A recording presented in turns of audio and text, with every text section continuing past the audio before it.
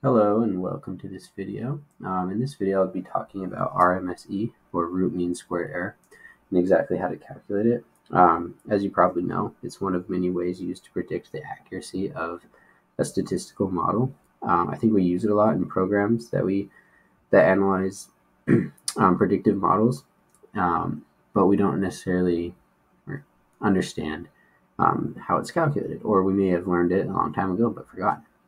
And so I just want to go over with a very, very simple example how to calculate RMSE, or root mean squared error. So let's look at the formula for this.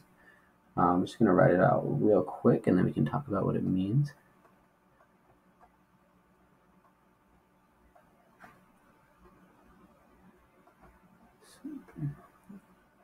Okay, so this is the formula for root mean squared error, which basically is the difference between the forecasted, which is our F, the observed, which is our O, um, squared, and then you take the mean of that, the average, and you square root it. So it's actually the same as standard deviation. The only difference is instead of taking the difference from the mean, which is what you do in standard deviation, um, you take the distance from the observed or actual values. Um, so looking at this graph right here, um, these light bluish green dots are the actual, and then the yellow and this red line, those are the regression line and the predicted values. So let's just go through it and calculate it real quick. Um, let's start off with x equals 1. So we have for the actual, we have 1 comma 2.5, and then for the um, predicted 1, 1.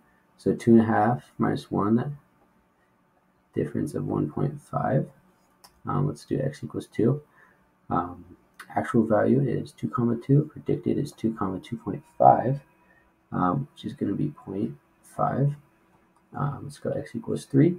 So the actual is 3 comma 1, 2, 3, 4, 5, and then the predicted is 3 comma 4.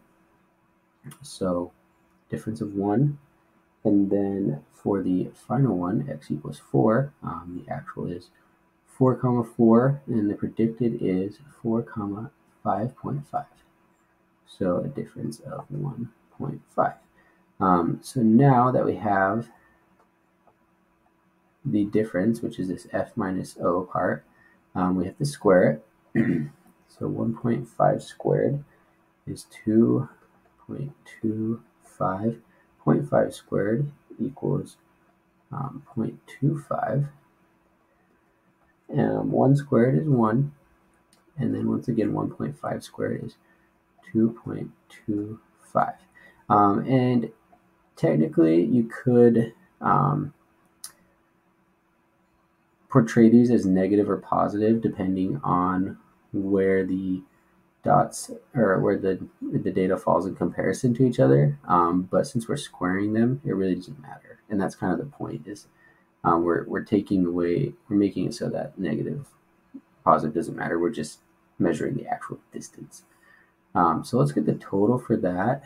Um, is 5.75 and then to get the mean divided by 4 since there's four data data points that equals 1.4.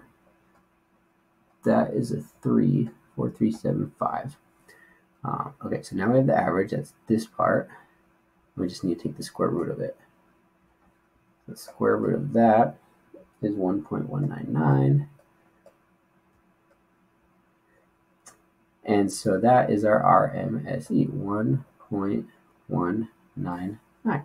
Um, now remember, the lower the RMSE, the better, um, because that means that there's less variation, that the predictions were actually closer to the actual values. Larger means the predictions were a little bit further away. And that's it.